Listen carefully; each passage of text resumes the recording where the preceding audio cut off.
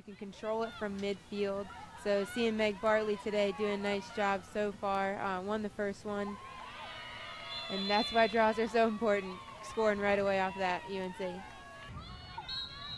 So good attempt for North Carolina. She puts it away. Brittney Coppa. Too. That helped D. Slide off your player momentarily and hope someone else going to cover it. It's a great look. Carolina puts another one on the board to tie this thing at three. Good shake by Thone. She gives it up to Bartley. Here's a shot on goal. Nice save. Of course, that culminated in 2013 with her first NCAA championship with the Tar Heels. As a nice goal there by Callie Devlin. And just keep shooting, and, and they've been getting it back. So Driving towards the net. Nice shot. Carolina's lead is two after the goal from Maggie Bill. North Carolina has taken its time when on offense. They've moved the ball around a lot.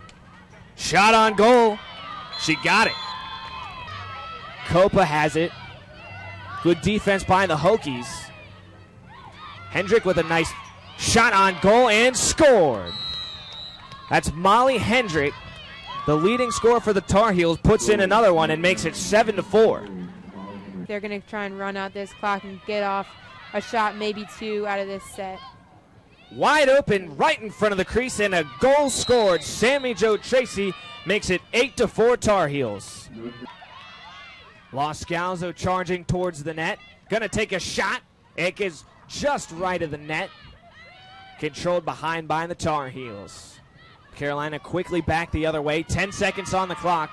Tries to flip it behind her back. And somehow that ball ends up in the hands of Marie McCool, and the Tar Heels put one on the board with just two seconds left here in the first half. A little bit of a slow start here. Nice pass right on the crease, a shot and score. Sam McGee puts it away for North Carolina. Tar Heels doing it on both ends. Good pass right on the crease, shot, score. Sam McGee puts away the second consecutive goal for the Tar Heels, and they lead it now by seven.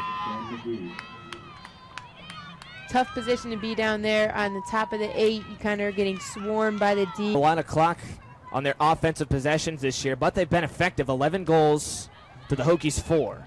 Another shot, and she scores. This time it's Sydney Holman.